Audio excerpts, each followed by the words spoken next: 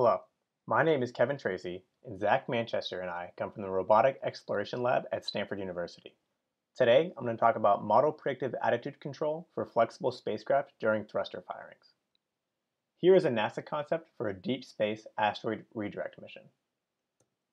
Here is the Maxar 1300 satellite bus, one of the most common in geostationary orbit. And here is the JPL SMAP spacecraft with an unfurlable antenna. The reality is that most spacecraft look like the three I've just shown you. They're flexible, with flexibility coming from either the solar arrays, flexible appendages, or payload components. On the contrary, here are NASA's Spitzer and Kepler space telescopes. These spacecraft demand very high pointing performance and are consequently significantly more rigid than the larger spacecraft I've shown you. So why is this? Because spacecraft design is very much a balancing act. Increases in pointing performance often come at a penalty of cost, power availability, and mass. So our question is, can flexible spacecraft be controlled with the same sort of pointing performance as the rigid ones? Because if so, we can make spacecraft lighter and cheaper, as well as enabling new mission designs that weren't possible with previous pointing performance. The flexible behavior of a spacecraft is often excited during fast maneuvers or in the presence of strong external disturbance torques and forces. Now this won't happen with a solar radiation pressure torque or a gravity gradient torque, but it will certainly happen in the presence of a chemical thruster firing. These thruster firings can perturb all the flexible appendages and excite all the structural modes. There are three commonly studied methods for controlling these flexible spacecraft. The first is to actively filter the sensor measurements with some prior knowledge of what the flexible characteristics of the spacecraft are. The second is to actively damp out any flexible behavior after the thruster firing with more thruster input shaping. And the third and most common is there is a whole slew of nonlinear feedback controllers that all leverage an understanding of the flexible behavior and work to control the effects. So our research objective is to develop a fast, online capable attitude controller that explicitly handles the true flexible behavior, it can plan for thruster firings, and it will always respect the actuator constraints of the system. So for our control development cycle, it went something like this. First, we derived the true equations of motion of the spacecraft with the flexible appendages. Then, we linearized these dynamics. And then, we formulated this optimal control problem as a convex optimization problem. So as far as flexible dynamics choices goes, there are multiple different methods to approximate the flexible behavior. The first is to model your spacecraft as a series of connected rigid bodies. This is the easiest to derive and simulate, and it works well for certain architectures. And we're going to put this somewhere in the ballpark of what we're going to call medium computational complexity. The second is the connected flexible bodies. And this is where you build the spacecraft up with flexible beams and plates. The downside is that this is very difficult to derive, and so we're going to classify this as high computational complexity. And this is both for the difficulty in derivation as well as the ex computational expense of each function call. And the last method is the hybrid coordinate model. And this is where you use some finite element analysis of the spacecraft to determine the flexibility characteristics. Derivation is pretty straightforward, and this method is very common in industry. And we're going to place this at low computational complexity. The hybrid coordinate model was the one selected for this study. Now for the hybrid coordinate model workflow, the first thing that's done is the spacecraft is built in CAD with all the proper materials and joints. Now the reason this is an okay assumption is because for most spacecraft designers, this is already done to account for the mass or thermal properties. The next is a finite element analysis is run on the spacecraft to determine the flexible characteristics.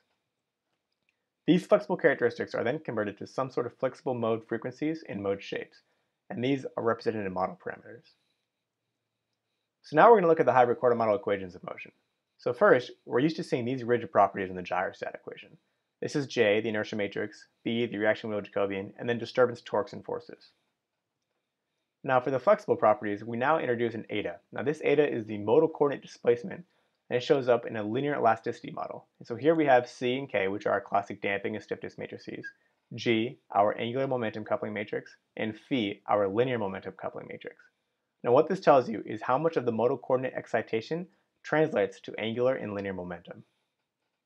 Here are the true nonlinear equations of motion for the hybrid coordinate model. So let's break this down piece by piece. So first, in green, we'll see what we should recognize as the gyrostat equation. Now we see everything that was not captured in the gyrostat model as flexible behavior that shows up.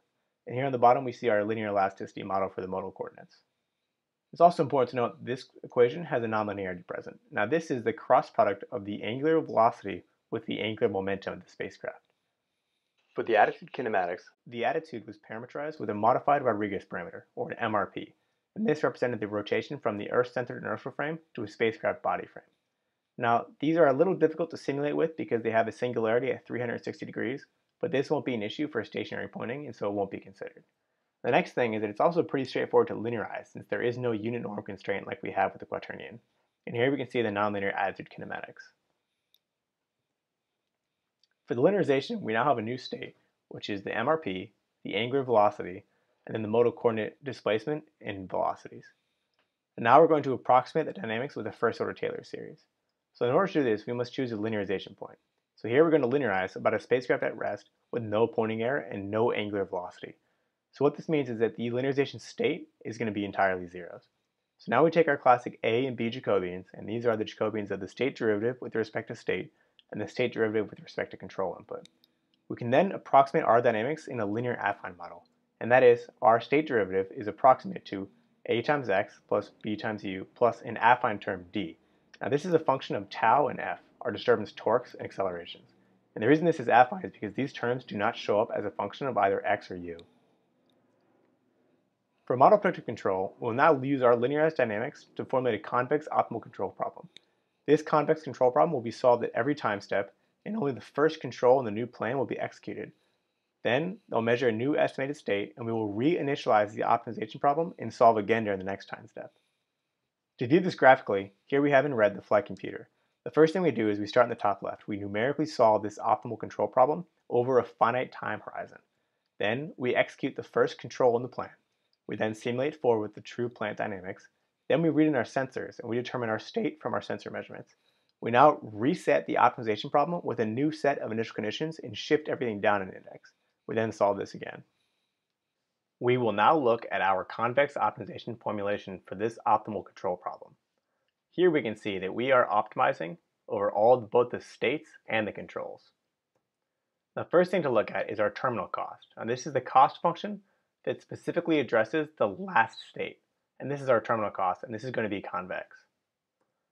Then we'll look at our stage cost. Now this is also convex, and this applies to every single state and control pair in this series for an n-step horizon problem. Now since we're solving for both the states and the controls, we need to ensure that the result is dynamically feasible. And we do this with our dynamics constraints. And the last thing to consider is the constraints of our actuator. So in this case, our actuator are the reaction wheel torques, and we have an upper and lower limit of what these wheels can provide. Now the convex solver that was chosen for this problem was the operator splitting quadratic program solver, or OSQP. Now this is an ADMM based first order method that's great for solving convex only quadratic programs. This interfaces very well with MATLAB, Python, CVXPy, C, C++, and it's open source and it's very easily adapted for use on an embedded system. This solver is highly tunable and has a great warm start capability. And what this means is that I can solve this MPC problem once, and at the next iteration, I can use the previous solution to get myself partway to a new solution. Now for the simulation setup, we used our MPC formulation and we compared it against an LQR feedback law. We used the same linear system that we use in the MPC for the LQR feedback law as well. A thruster was fired at 7.5 seconds, and this contributed a disturbance torque and acceleration to our system. And this simulation used the true nonlinear dynamics and it closed the loop with both the MPC and LQR controllers for comparison. So the first thing we can look at is the pointing error of these two systems. So as you can see, with MPC in black and LQR in dash, that the LQR system saw a significantly higher pointing error. The MPC system was always below about 4 degrees, and the LQR system exceeded 12 degrees. Now the next thing to look at is the slew rate. Most payload components are going to be sensitive to both a pointing error, and a maximum slew rate. Here we can see that, once again, MPC significantly outperforms the LQR controller in slew rate. The next thing we can look at is the control usage. These three channels correspond to the three reaction wheels and the torques that were applied to them. As we see, the MPC controller used significantly less control effort than the LQR controller. It's also worth noting that in the case of the third channel of the control input, that the LQR system had trouble dealing with damping of the final mode, and the MPC system was able to better understand the true dynamics and leverage them to dampen the mode out entirely. And the last thing to look at from the simulation are the modal coordinates. These are the three coordinates that correspond to the three included modes, and it shows a comparison of LQR and MPC. As we can see, MPC saw better performance in the modal coordinates as well. Now since we're solving this optimization problem at every single time step, it's important that we can solve it quickly. In the case of this simulation, this had to be solved at 2 Hz at a minimum. We were able to solve this problem in less than 1 millisecond. In the very beginning, before warm starting was very effective, we saw a maximum of about 1.7 milliseconds. After warm starting was more effective, and after about 50 or 60 seconds, we saw that this solve time reduced to less than half a millisecond. We've now seen that in the absence of model uncertainty, MPC dramatically outperforms LQR. Now the robustness of this solution must be tested since model uncertainty is very likely with the flexible behavior. And this is because CAD models aren't always perfect, and on-the-ground testing for flexible components is very difficult. So what we did was we ran a Monte Carlo with 1,000 trials where we applied errors to all the flexible model parameters. These errors were all multiplicative Gaussian errors, and they were applied to the damping ratio, the natural frequencies, and then we did both scaling and rotation of the angular and linear coupling matrices. Here we can see a 3 sigma plot for the pointing error. So what we mean by this is that the upper and lower bounds indicate the plus or minus 3 standard deviations from the mean performance. The MPC solution beats LQR in every single trial. The next thing to look at is the root mean square pointing error. Again, we can see that MPC does a significantly better job at keeping the pointing error down than LQR.